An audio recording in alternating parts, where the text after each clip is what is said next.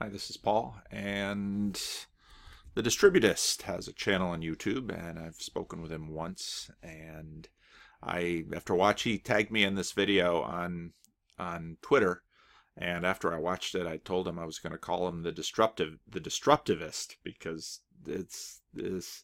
He he does some stuff in his videos that really gets in my head and uh, has me thinking in new ways. And so he's a you know, I, I really appreciate his insight, whether I agree or disagree with him. He really gets me thinking in some different ways. And he did this video on on Mencius Moldbug, who I, I didn't really know anything about, but it's someone that that many who watch my channel will probably know something about. I was um, early, pretty early on. People told me that this was a channel I should watch. And the main que- question was, why does the left always win? And you know the right side of history and all this. And his video is about an hour and 15 minutes long. So for those of you who watch my videos it's not a very long um, it's not a very long video. But why does the left always win? And i thought well and then he he kept talking about it. And he talked about basically um, conservative drift towards the left how um, Taft is more conservative than Ben Shapiro, and on and on and on. He goes th- um, over that through history, and now notice 15, 18. Uh, I could have used 15, 17. We'll get there in a minute. But, uh, and, and the more I thought about this, I thought, boy, he's got a point. And it's always, it's, you know, Peterson talks about the fact that when, when you have to change an idea, it's it's painful because a little a little something in your head dies and and you never like that death and so you know we we always want we always want everyone and everything to validate us and affirm us and agree with us. And so when when you find something that makes a good point and you have to admit it, it's like, oh crap, that's a good point. And yeah, there's issues with it, but it's a good point. And and then you have the question of well, well, what is left and right? And I just finished watching a John Anderson video that that also caught my attention. I hope there's a chance I might talk with John Anderson. Um, uh, yeah, that's that's something coming up. I've got some plans in the works for things, and that should be on video.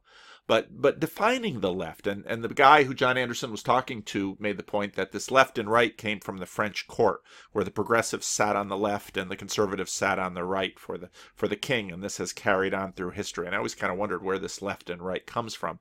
But but of course this this whole premise, why does the left always win? And like certainly during my lifetime, I've seen a lot of that. Even though politically we tend to swing back and forth, this this kind of social progressivism keeps marching steadily onward and seems to get win after win after win. Now I've got some yeah buts about that.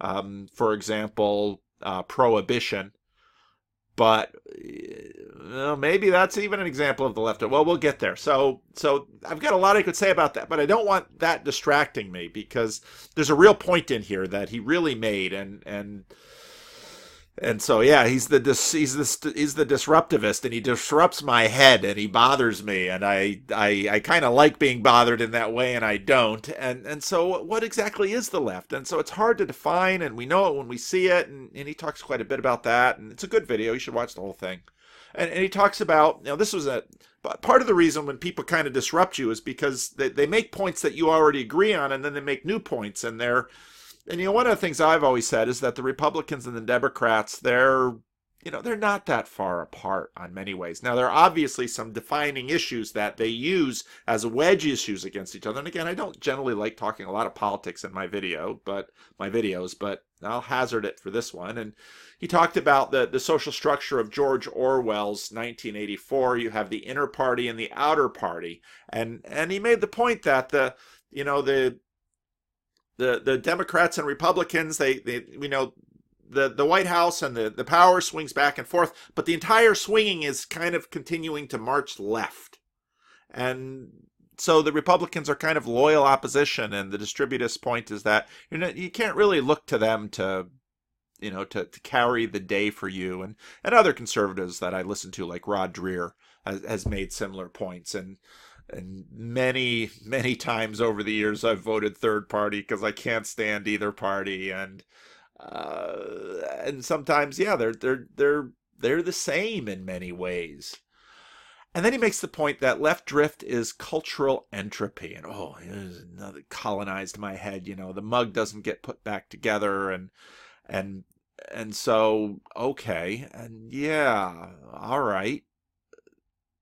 Mm, and and you know we're seeing this in a sense in terms of arcs of civilization, and that's a favorite way of looking. What is when does the American civilization hit its decline? When does the British civilization hit its decline? When does the Roman Empire hit its decline? And you know those are big big arcs that that go over many many centuries sometimes, and and how can we judge and can we judge from in the middle and what does that mean especially when we all have our own little arcs which is which are our lives and and then he said well you know maybe one way to frame it is i don't know that he said maybe was was righteousness and lawlessness now i've been I haven't posted the last couple weeks. I have to get busy with that. But in my adult Sunday school class, I'm going through First John, and First John is a very black and white book, and and and so we're dealing with that in the in the Sunday school class. But this righteousness and lawlessness is a, is a thing is a theme in the New Testament, and there's the man of lawlessness that arises in the book of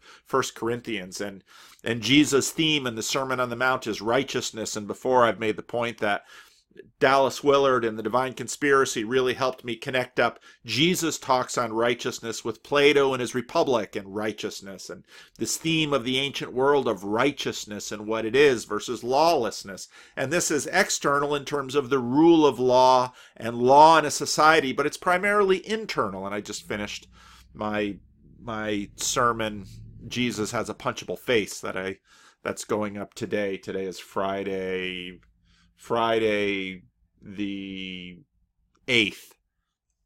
Friday, February 8th. And and so that rough draft for Sunday video is going up today. And and, and I talk about the fact that, you know, you have to have an internal you have to have to have an internal law inside of you. And and this and this internal law helps you say no to certain kinds of temptations that will be damaging to you. And and and these things scale all the way out to society. I lived you know, I watch people complain about corruption in the United States, and certainly there's corruption here, but it's not like it was in a place like, for example, the Dominican Republic or many, many other countries of the world this and and this corruption is you know it, it has to be found in individuals and that's why in a sense the the argument that a democracy cannot live with with you know if you don't have if you don't have a population with its own internal sense of morality and right and wrong and and resistance against corruption and and all of those issues. And so you know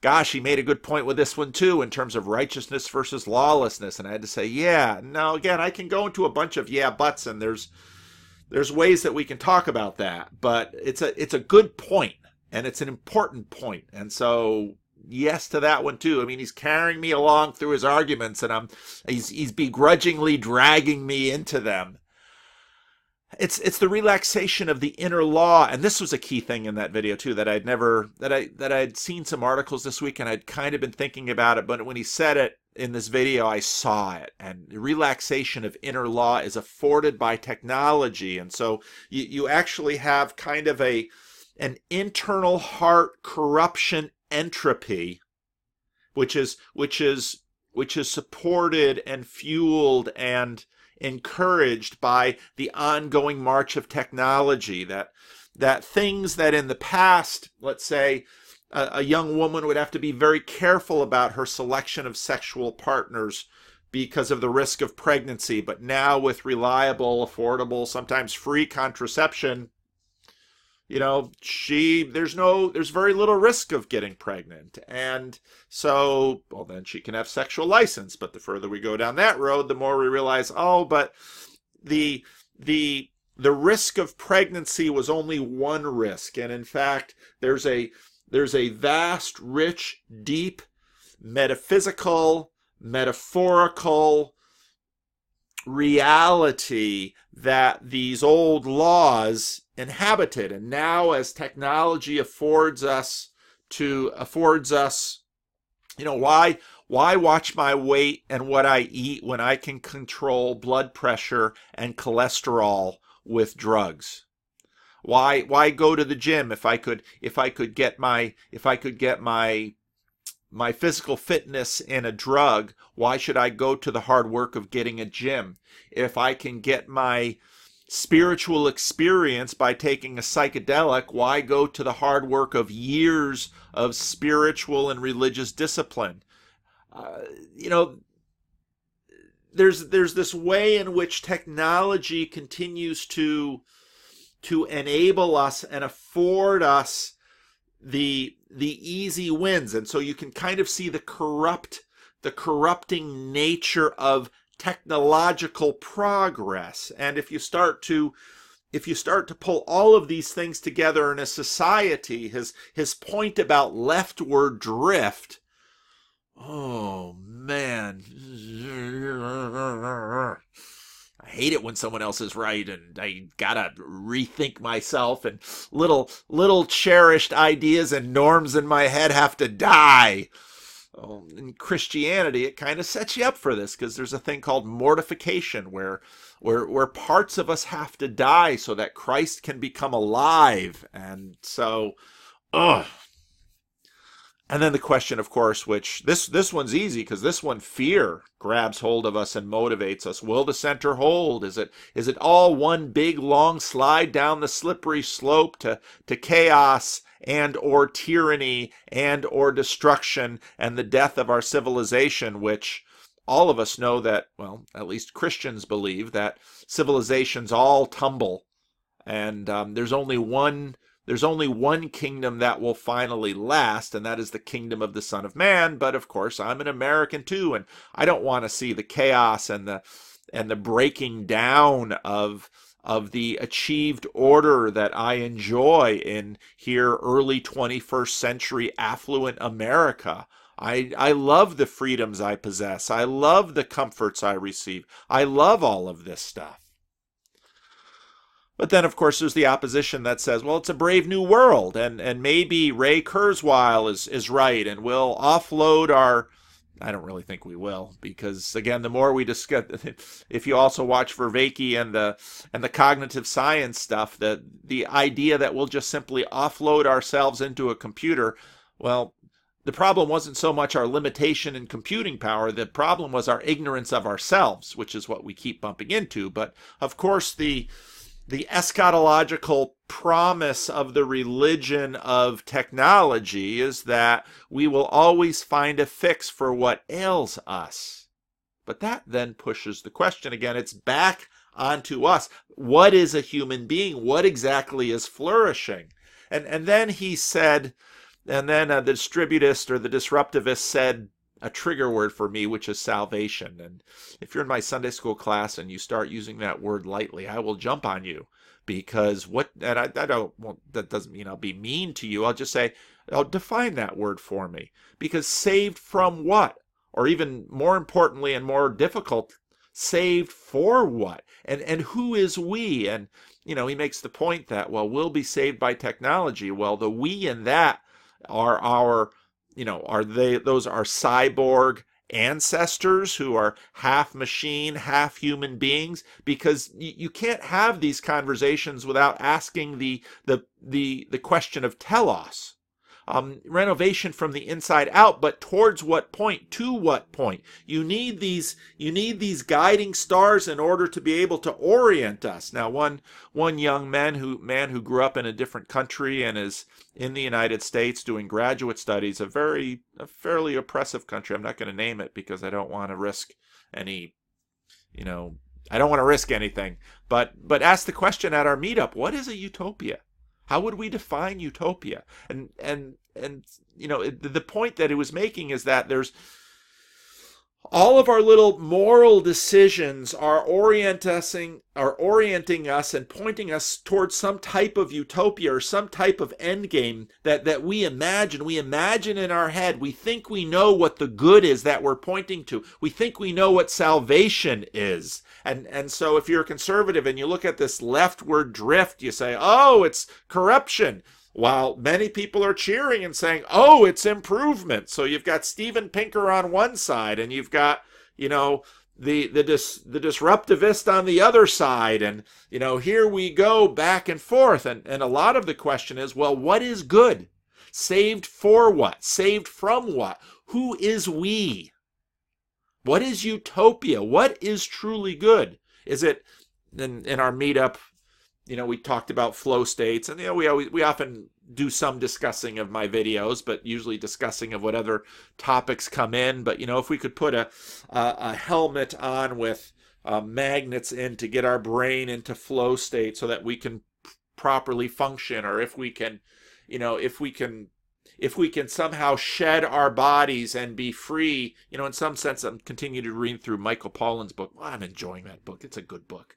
Um, see that people ask me for favorite books, and uh, it's such a hard question for me because I often love the book I'm most stuck on right now. I, I fall in love with books and and then oh that was a wonderful book and then I'm on to the next book and so what's my favorite book? It's probably the last book I really loved. So you know, enjoying Michael Pollan's book. What a gifted author, and really appreciating his voice and, and his ability to write. And so, so, so anyway, see, I distract myself.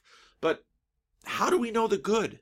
Get, you know, maybe just take some drug and take Soma. You've got Brave New World, and so the individual raised the utopian question. He had just finished reading Brave New World, and I thought, yeah, that book will get into your head.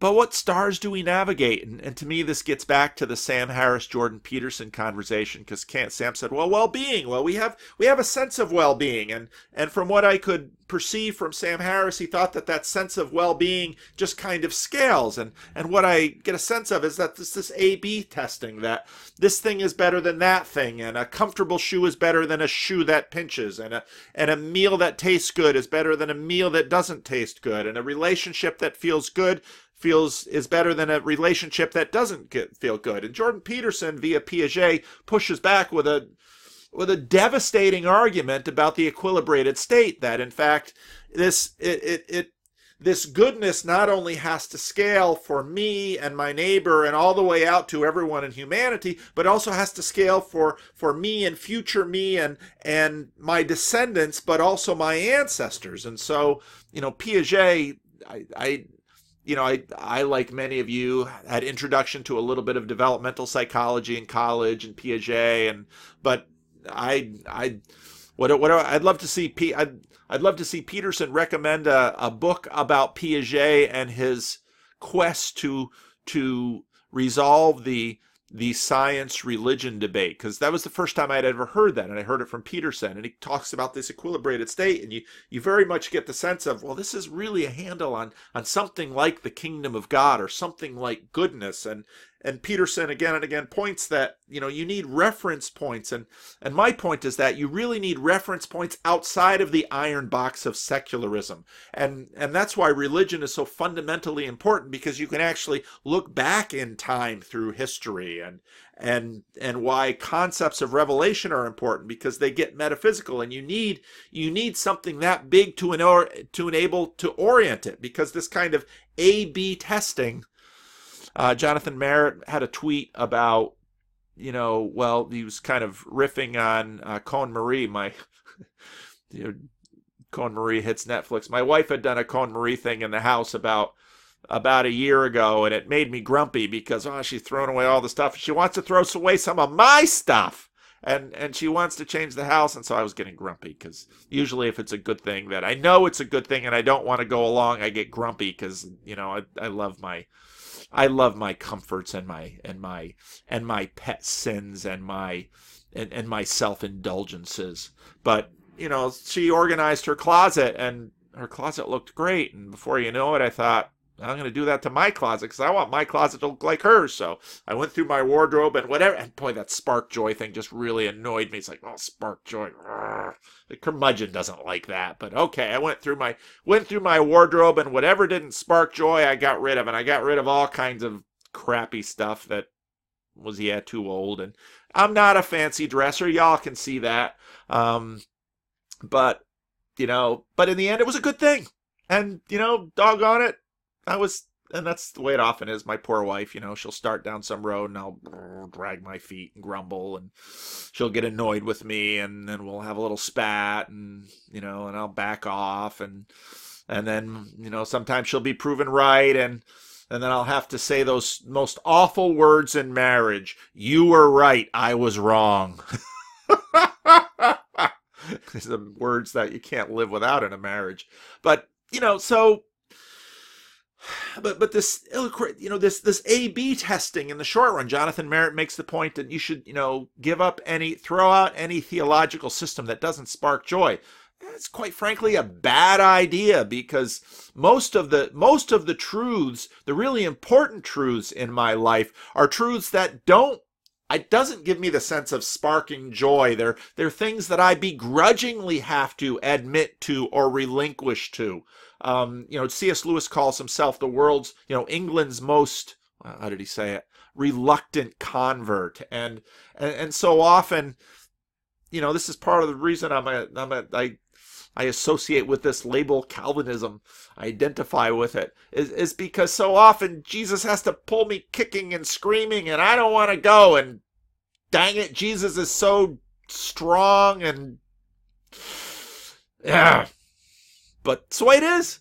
And and so yeah, if I could do all my morality testing, A B testing, well, actually that's a really bad way to judge morality and the, the real challenge is to is to work this equilibrated state idea to see what what ideas are better and right for the long term someone in the someone in the um, someone in the meetup had seen some article somewhere that said that the German people were their happiest during the 30s and 40s, which of course um, came at the expense of the Jews and the Slavs and and everybody else in Europe, and then became their more miserable. And then I, I, I haven't posted this conversation, but I had a conversation with a young man from Germany, and he was telling me how, you know, Germany's in kind of a mess because their identity in the 20th century you know they're the pariahs of the world which means that they can be guilted into almost anything. And and, and you see that dynamic in individuals and what happens when a when a whole nation takes that on. And you know on one hand it might look like christianity because it looks like generosity but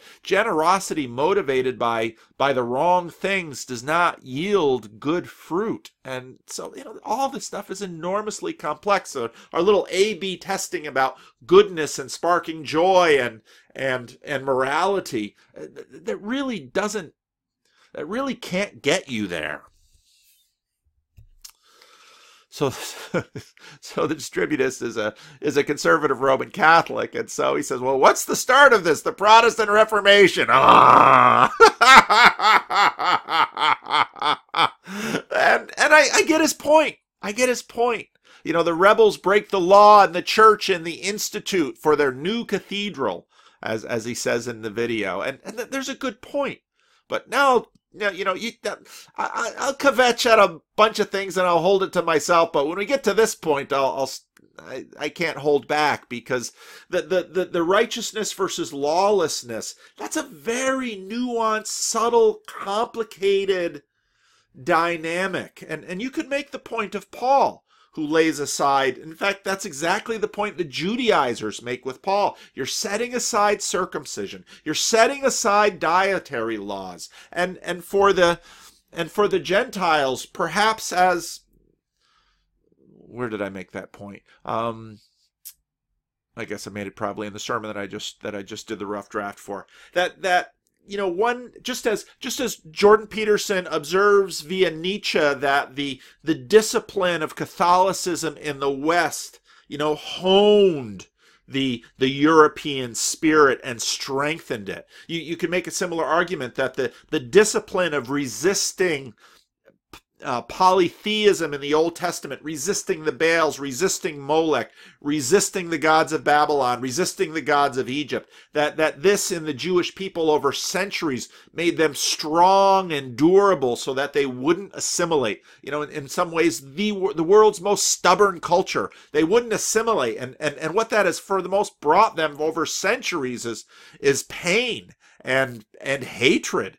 And, but, you know, there's a, but they held together that way and they they remained themselves that way and and so you might argue that jesus you know this is exactly the point of Jesus culture war. Jesus, you're soft on on Roman sex trade of young Jewish girls. Jesus, you're soft on on fasting. Why aren't your disciples fasting? Well, when the bridegroom is there, they don't you know the the the the party doesn't fast and Jesus all of those things could be excuses for holding the line against the corruption that the Romans are bringing to our society. So yeah, I'll, I see the point on the Protestant Reformation, but one could make similar points on Jesus and Paul.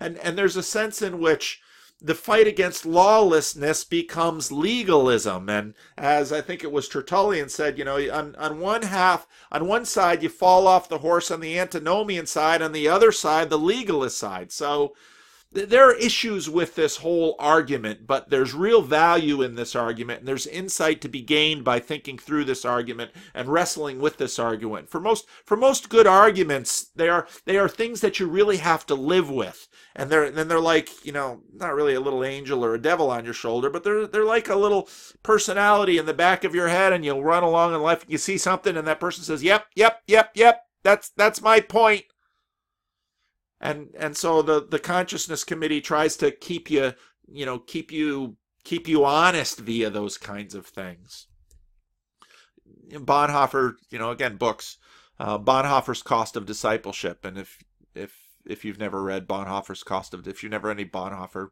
read bonhoeffer so many good authors. But bonhoeffer of course was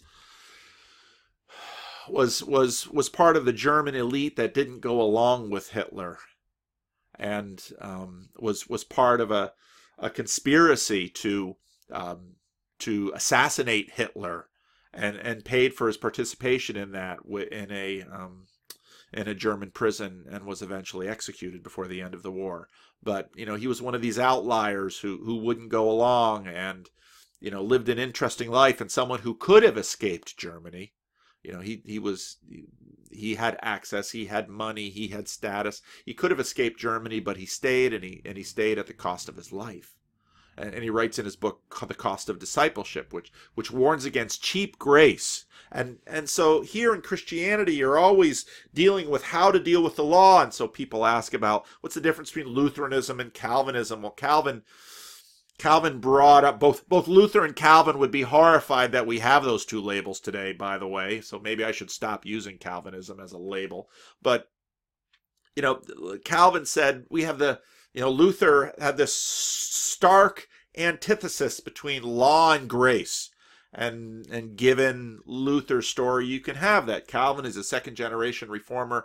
He he says, well, he comes up with a third use of the law. The law is to you know the, the use of the law by civil magistrates to keep order that's that's fair um, but the third use of the law is to is is now we can express gratitude. So those of you if you watch my rough drafts for sunday see misery deliverance gratitude misery deliverance gratitude. We use the law to express our gratitude to god because in a sense the law does in fact reflect god's desires but now we don't use the law as um, as a way of saving ourselves. So if you look at the Heidelberg Catechism, the treatment of the Ten Commandments comes in the gratitude portion. This is this is how we as Christians live the Christian life, and this is how Calvin tries to, you know, kind of pull back from Luther. But one of the big one of the big questions, one of the big issues throughout Christianity in the West. Now I know the Orthodox have have uh, the Orthodox come in to say, yeah, if you'd listen to us, you wouldn't have these problems with with grace and law and some of those things. Um, and maybe I'll have those conversations when I talk to my friend Luke Thompson from Twitter one of these days. But we're always dealing with this question of of of faithfulness and lawlessness or righteousness and lawlessness and you know i'm a big fan of tim keller and tim keller better than most persuasively argues that for for Tim Keller you can find Veritas Forum you google or you search it on YouTube you'll find it Tim Keller homosexuality and, and watch the whole conversation that Tim does in a Veritas Forum a Veritas Forum um, debate where he'll, he'll you know where they they they really try to corner poor Tim on some of this stuff. And and Tim will basically make the point it's self-righteousness that gets you damned. well, what do you mean by that?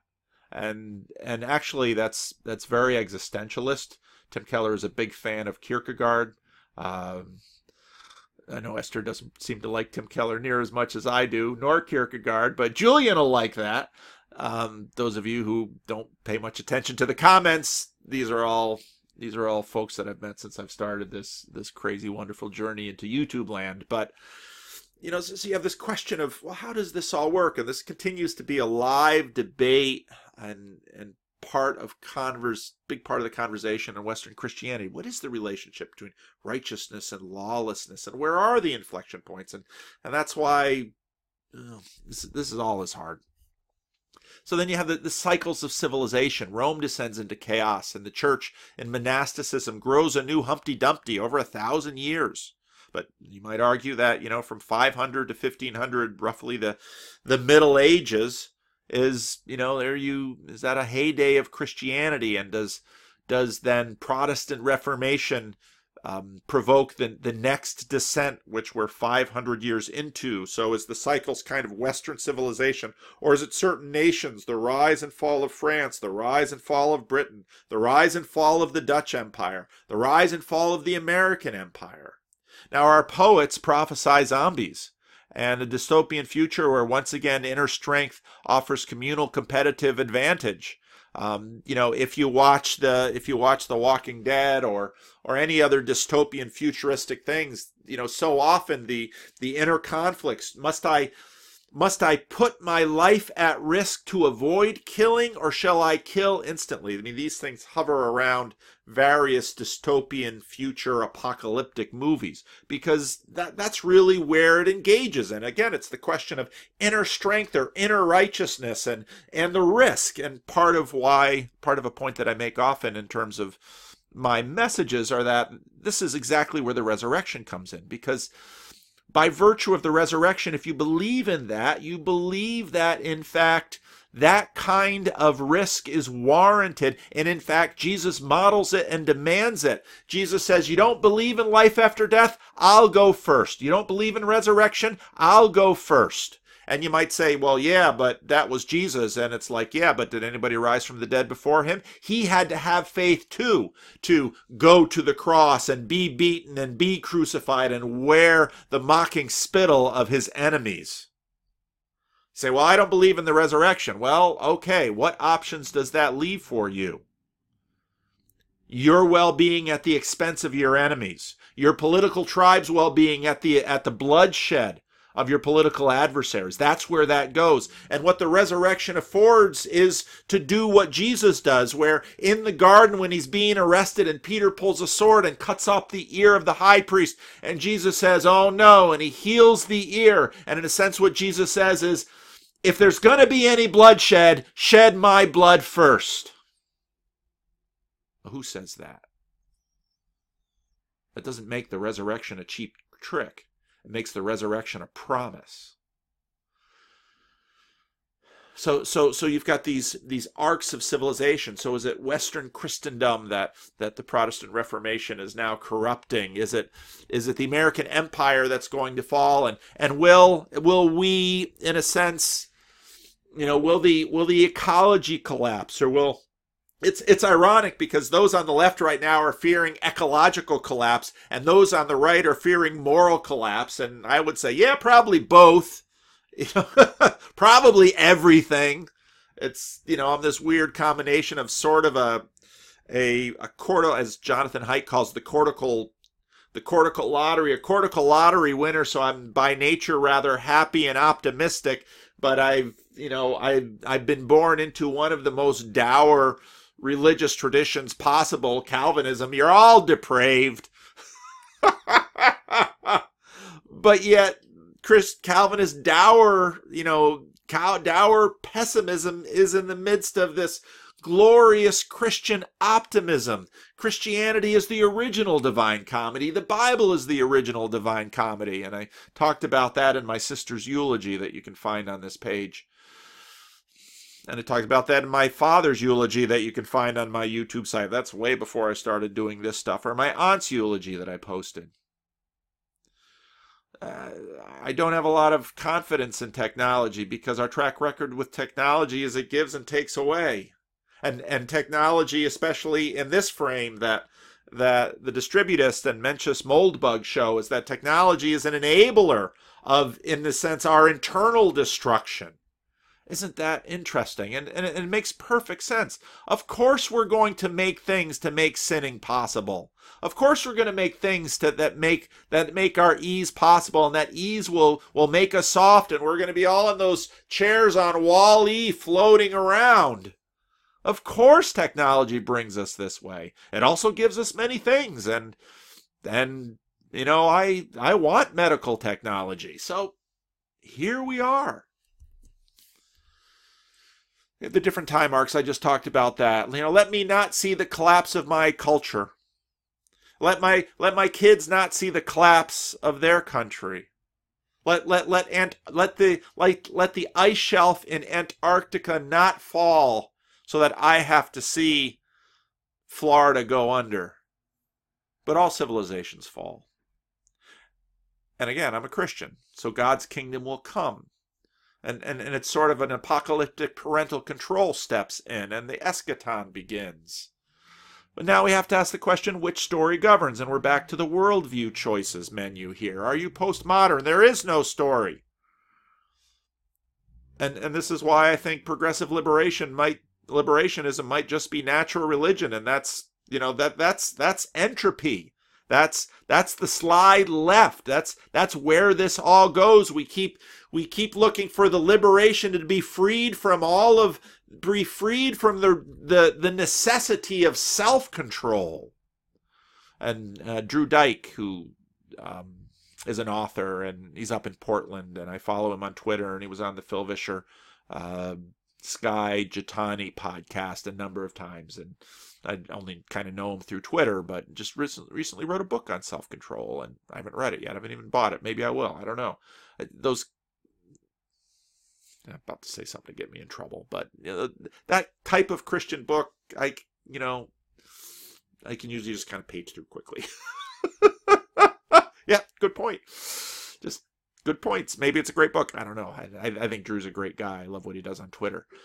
But you know, maybe that is in fact the slide that that technology and entropy and and we're just releasing ourselves some self-control until everything falls away because we can't manage life in this world without self control. And the most, in a sense, the most wonderful of all political situations, democracy can't exist without self control. And and then we're just going to have these cycles of tyranny that we fall into fall into and, and maybe we'll be happy and say yeah i was i was fortunate enough to have lived in the united states at the end of the 20th and beginning of the 21st century and i only began to saw the to see the decline but you know, it's it's helpful to to read history too, because what you find is that many times in many places we, you know, we're we're on the edge. And and 1930s America was was on the edge, and 1950s America was on other edges, and and and we're always on the edge one way or another, and that's why I talk about the age of decay. Life is not stable.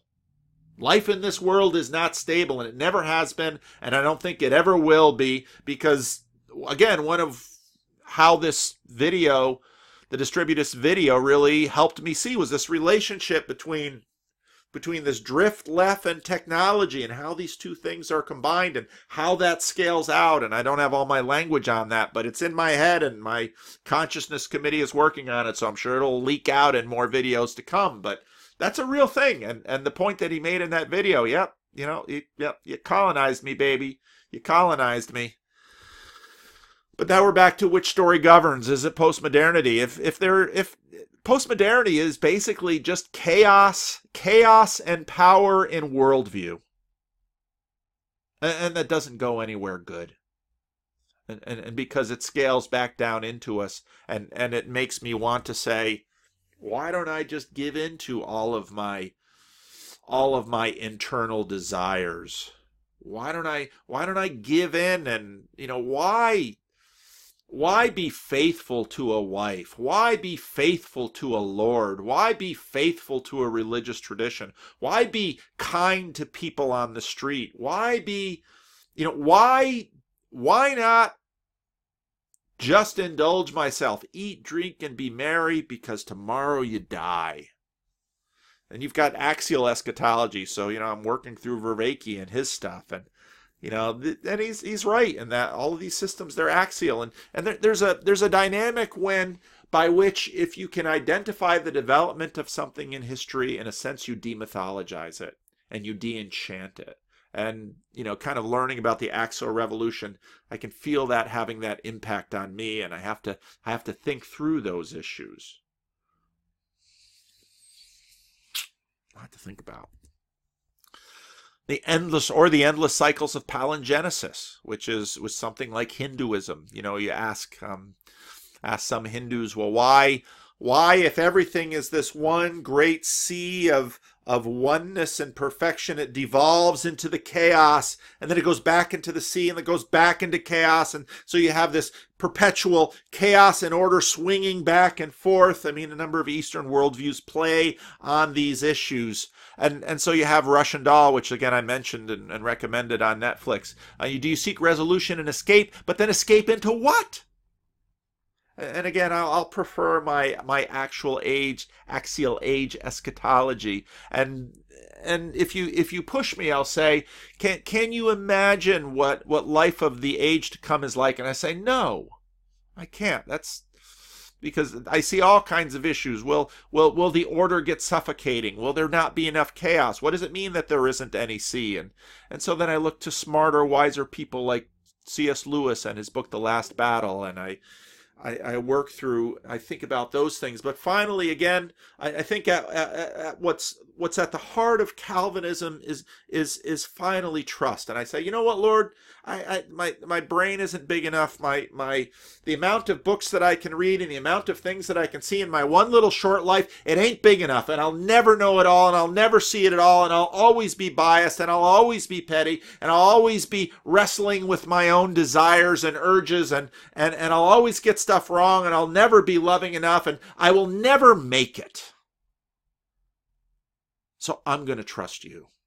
And, and I'm going to believe that you are as good as you say you are. And I'm going to believe that, that Jesus is the image of the invisible God. And I'm going to believe that he walked out of that tomb. And I'm going to believe that, that this affords me the, this affords me the, uh, the joyful yet suffering path of faithfulness and love in my relationships around me, even if the world is going to hell in a handbag know, someone someone made a comment in my conversation with with with Alastair. You know how Alastair and I both, you know, when Jordan Peterson gets too mired in politics, we start to we start to grumble. And someone said, "Yeah, but that's because you're living in that's because you're living in a, you know, you think of a few best men. You can't handle the truth. There's people that stand on a wall that buy your that buy your comfort and buy your freedoms at the cost of their blood." And that's right. And that's a good point. That's an important point. And and how do you know that if you weren't in the prison camp that you wouldn't be just like look at Tim Keller telling the story of Eric Liddell uh, at the end of Tim Keller's talk at Princeton at Princeton Seminary, where and I've mentioned this in other videos before, where where Eric Liddell you know all the other priests and religious leaders and missionaries in that camp were just as cutthroat as everyone else and Eric Liddell shone like the sun. And you'll find those stories coming out of concentration camps where everyone, uh, everyone, again, that's the Walking Dead. It's the zombie apocalypse. Everyone gets gets petty and selfish and self-interested. My well-being at the expense of everyone else, and someone there will be a saint, and they will give their life for the others, and and they won't do it, you know, just just we're so we're so moment fixated. There's one grand gesture in which it's given. No, they'll do it slowly, bit by bit, like Jesus. Jesus dodges death again and again. And they tried to kill him and they tried to stone him, and not Jesus, not, not my time. Jesus, to be a saint does not mean being a doormat or a wallflower. To be a saint means you do exercise judgment, you do exercise agency, you do say no to people. But but but sainthood, you learn to do it in a way that it, it's always for love. And it's always finally for for the welfare, not just simply the little AB welfare that that so often you know th- that's what happens. A, a, someone the little little Siddhartha Shears from the sermon I preached last week. You know, you know, well, my daughter doesn't know sin. Oh, your daughter knows plenty of sin, honey. Just show her the word. She's probably going to become like your parents.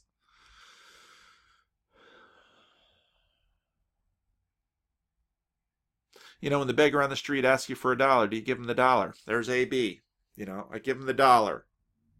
Why do I give him the dollar? To get him off my back. You know, I dealt with this all the time in the Dominican Republic. You come out from come out from someplace and some kid pops up. I watched your car. All right, you watched my car. Do I give you a few pesos just because it's expedient? Do I give you a few pesos because you're a poor kid? You're just trying to survive and there's no way you can.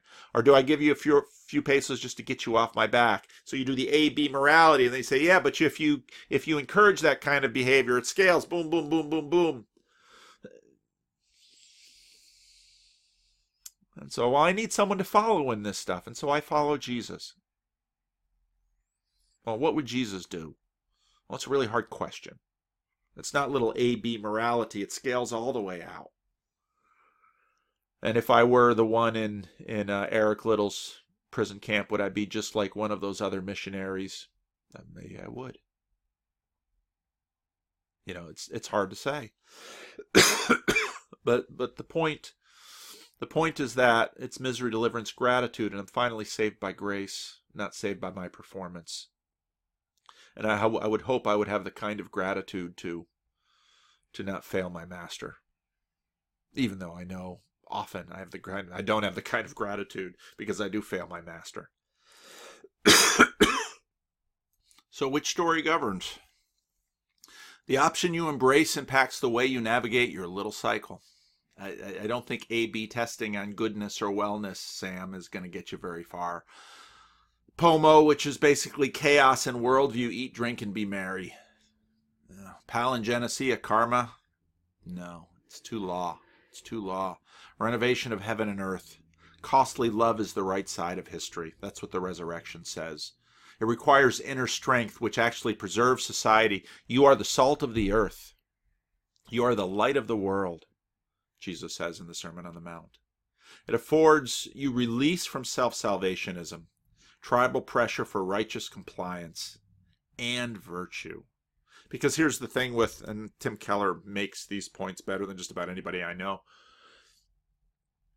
Here's the thing about self-righteousness. If, or here's the thing about the law. If I, if I achieve in complying with the law, I have now exercised the inner strength to possess that and i can look down at all of those people that don't have it and one of the things that we know is that this this business about having inner strength is not just I mean, there's there's two there's two competing frames of human beings. One is that we have no agency, that we're just playing out the the bad things that happen to us as a child or the good things that happen to us as a child. So the so the strong do well and the weak do poorly. And and and therefore there is no agency and you can't hold anyone accountable. Or the other vision is that where it's all agency and it's and you know you know by by by free will and sheer determination i had a my my wife had an aunt who in the 1980s when crack was going on used to brag because she'd say, you know, they say that once you take that first hit of crack, you're addicted. I'm pretty strong willed. I think I could take crack. And, and the idea of watching Aunt Ruth take crack, that just really that tempted me mightily. I thought it wouldn't be too hard to places I live. It's not too hard to get some crack. Give it to Aunt Ruth. She never would smoke it because, of course, but she just wanted to make that point that she would, if she smoked crack, she wouldn't become addicted. And I thought, ah, you sure are a big believer in your will. And the irony was that she's passed now, um, but but she had she had a hard life, and uh, that's the thing. And so those two worldviews of, of, of, of, we have no agency or we're all agency. Oh, we're we're a mixture and, and we're a mess, but you can't give up agency, but you can't give up understanding. And so that's the problem with the law is that even if it's inside, well, I alone. No, but then you're a Pharisee. Then you're a that's not really fair to the Pharisees. Then you're a legalist. Then you look down on others. And and so I I think Tim Keller is exactly right that the real the real way to understand it is you're saved by grace, which means that I can't look down on those who are weak because I'm weak. But but I can't live with without I, I need the third use of the law. Again, that's why I'm a Calvinist. I need the third use of the law. I, I need to I it's it's at the end of Saving Private Ryan. I've used this before where where where Private Ryan is there and, and Tom Hanks and his squad have given up their life to, to fulfill this order, which maybe is kind of a crazy and stupid order. And and Tom Hanks' dying last words to this young man are earn it.